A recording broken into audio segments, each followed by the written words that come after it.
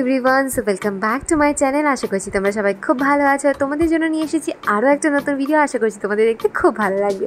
So আজকে আমি যাচ্ছি ধামসা ট্রাভেল রেস্টুরেন্টে, যেটা কিনা আমাদের ইকো পার্কের ভেতরের একটা রেস্টুরেন্ট। তো সেটা সম্পর্কে তোমাদেরকে ডিটেলসে জানাব। কম বেশি অনেকেই এই রেস্টুরেন্টটা সম্পর্কে জানো, বাট যারা জানো না, তাদের জন্য এই পার্টিকুলার ভিডিওটা অবশ্যই স্কিপ না করে পুরোটা দেখবে।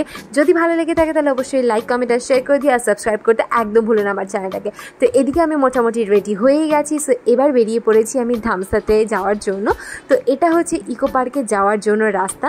তো এবার তোমাদেরকে বলে দিই ধামসা রেস্টুরেন্টে যেতে গেলে তোমরা কীভাবে পৌঁছাবে? গেট নাম্বার সিক্সের খুব কাছেই হচ্ছে এই ধামসা রেস্টুরেন্টটা মানে ইকো পার্কের গেট নাম্বার সিক্স থেকে তোমরা যেতে পারো, সেটা খুব কাছাকাছি হতে পারে।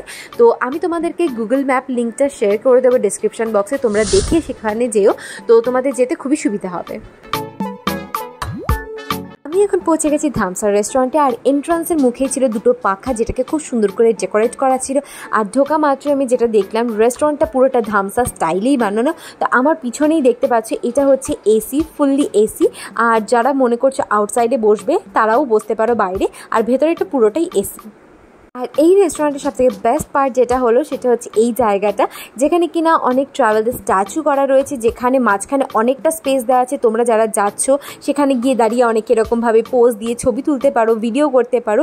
দেখে আমার খুবই ভালো লাগল। তো আমি যেহেতু রাত্রেবেলায় গেছিলাম, তাই জন্য আমি খুব একটা ভালো তোমাদেরকে ক্লিপ শেয়ার করতে পারছি না ভিডিও ক্লিপ শেয়ার করতে পারছি না। কিন্তু যারা দিনের বেলায় যাবে, দিনের আলোতে এই জায়গাটা সত্যি অসম্ভব সুন্দর লাগবে কিন্তু ওখানকার রাতের পরিবেশটা ফোনে ক্যাপচার করতে না পারলেও নিজেদের ওখানে অনুভব করতে খুব ভালো লাগে।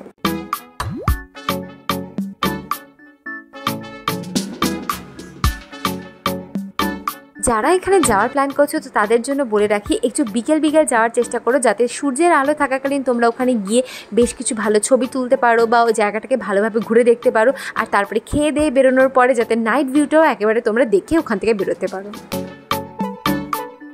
এখানে তোমরা নন এসি এসি দু রকমের সিটিং এরিয়া পেয়ে যাবে। আর রাতের জন্য আমি তোমাদেরকে খুব ভালো করে দেখাতে পারিনি বাট আমি চেষ্টা করেছি যতটুকু সম্ভব দেখানো। তো আমি এখন তোমাদেরকে ভেতরের যে এসি রুমটা রয়েছে, সেখানটা আমি তোমাদের সাথে আগে শেয়ার করি। ভেতরটা খুবই সুন্দর করে ডেকোরেট করা। আমার তো খুবই ভালো লেগেছে অ্যান্ড স্পেশালি সিলিংটা এতটাই সুন্দর করে বানানো। আমার খুব ভালো লেগেছে। আর এখানে বেশ বাঙালি টাচ আছে। আর এখানকার যারা স্টাফরা রয়েছে, তারা একটা বেশ সুন্দর আউটফিটে থাকে। সবাই একই রকম ধরনের আউটফিট পরে।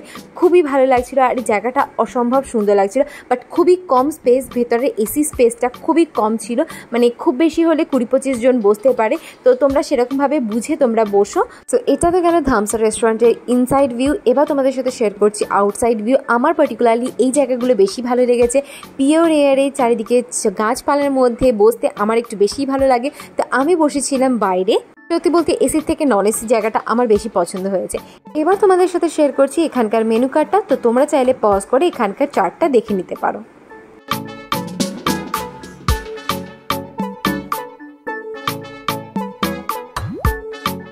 তো ফার্স্টে আমি অর্ডার করে নিয়েছিলাম একটা ঘোল আর একটা আমপোড়া শরবত। তো আমি প্রথমে ঘোলটা খেয়ে দেখছি। সত্যি বলতে আমার টেস্ট খুব একটা ভালো লাগেনি বাট অ্যাভারেজ দুটো ড্রিঙ্কেরই টেস্ট অ্যাভারেজ ছিল। ফার্স্টে আমরা অর্ডার করে নিয়েছিলাম বাঁশপোড়া চিকেন এটার উপর এক্সপেকটেশন একটু বেশি ছিল, কেননা ওদের স্টার্টার আইটেমস খুব কম ছিল, তাই ওরাই সাজেস্ট করেছিল এটা নেওয়ার জন্য। ফার্স্ট অফ অল এখানকার প্রেজেন্টেশন খুবই খারাপ ছিল জাস্ট সার্ভ করতে হয়, তাই জাস্ট ঢেলে দিয়ে চলে গেছিল। দুটো মানুষ থাকলে যে অ্যাটলিস্ট দুটো আলাদা প্লেট দিতে হয়, সেটুকুও সার্ভ করেনি। এবার খাবারটা টেস্ট করে দেখার পালা। আশা করছি আমার এক্সপ্রেশন দেখে তোমরা বুঝে যাবে। খাবারটা সার্ভ করার সাথে সাথেই দেখি ডিশটা একদমই ঠান্ডা ছিল। তবুও যখন আমরা চিকেনটা খাই, ওখান থেকে একটা আষ্টে স্মেল আসছিল, খাওয়া যাচ্ছিল না একদমই। ওদেরকে জানানোতে ওরা চেঞ্জ করে দিল সেম প্রবলেমই ফেস করছিলাম আমরা। খাবারটা গরম ছিল ঠিকই বাট গন্ধটা আসছিল। সো ওই ভয়ে আমরা ওখানকার আর কোনো ফুড ভরসা করতে পারছিলাম না। ওই জন্য আমরা নিয়েও নিই অন্য কোনো ফুড সত্যি বলতে এখানকার কোনো ফুডই আমাদের কারোর পছন্দ হয়নি।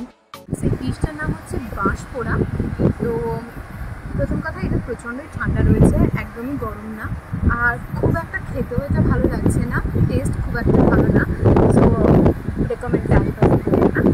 এর আগেও আমি অনেকের মুখ থেকেই শুনেছিলাম যে এখানকার খাবার খুব একটা ভালো না বাট আমি আজ প্রথমবার এখানে খাবার ট্রাই করে দেখলাম অ্যান্ড সত্যি বলতে আমি অনেস্ট রিভিউ তোমাদের সাথে শেয়ার করছি।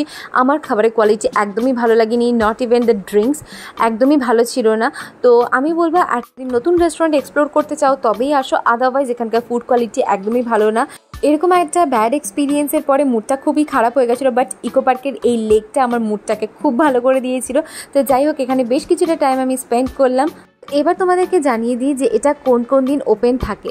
তো ধামসা রেস্টুরেন্টটা এভরিডে ওপেন থাকে এক্সেপ্ট মানডে মানে সোমবার বাদ দিয়ে বাকি প্রত্যেকটা দিনই ওপেন থাকে। দুপুর বারোটা থেকে রাত আটটা পর্যন্ত এই ধামসা রেস্টুরেন্টটা ওপেন থাকে। আর যারা চিনা পার্ক এরিয়া থেকে আসছো, তারা গেট নাম্বার সিক্স থেকে ঢুকবে, আর যারা সল্ট লেকের দিক থেকে আসছো, তারা গেট নাম্বার ওয়ান থেকে ঢুকবে, তাহলে তোমাদের জন্য খুবই সুবিধা হবে। গুগল ম্যাপ লিঙ্ক আমি তোমাদের সাথে ডিসক্রিপশন বক্সে শেয়ার করে দেবো, তোমরা যারা আসতে চাইছো, তোমাদের জন্য এটা সুবিধা হয়ে যাবে। আর এই ধামসা রেস্টুরেন্টের বাইরে এই সুন্দর ওয়াল পেন্টিংগুলো রয়েছে, এত সুন্দর বাঙালি আনার টাচ রয়েছে, দেখে সত্যিই মনটা ভরে যাচ্ছিল। তো এই জায়গাটাতে দাঁড়িয়ে আমি বেশ কিছুক্ষণ সময় কাটালাম, তারপর আমি ফিরে আসলাম। তো এই ভিডিওটা দেখতে তোমাদের কেমন লাগল? আমি আমার অনেস্ট রিভিউ তোমাদের সাথে শেয়ার করেছি তো তোমরা জানিও তোমাদের কেমন লাগল। যদি ভালো লেগে থাকে তাহলে অবশ্যই লাইক কমেন্ট আর শেয়ার করে দিও। আর সাবস্ক্রাইব করতে আমার চ্যানেলটাকে একদম ভুলো না।